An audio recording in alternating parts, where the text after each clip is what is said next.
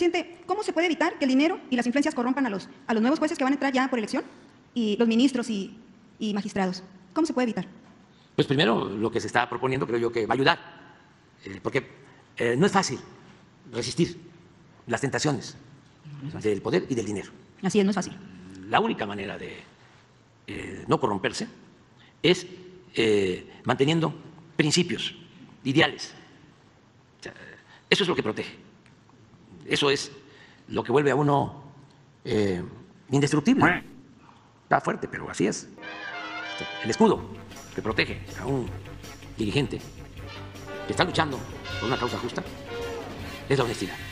Si no se actúa con honestidad, no se resiste a los embates de la oligarquía y de sus achichincles.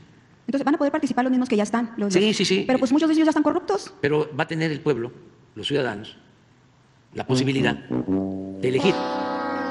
Y el pueblo se equivoca menos. ¿Y cómo van a evitar que, si hay una elección, cómo se va a evitar que intervenga el narco o empresarios con su dinero Es que- para, pues, para poner a sus jueces? Es que la gente este, está muy consciente, el pueblo de México está muy politizado.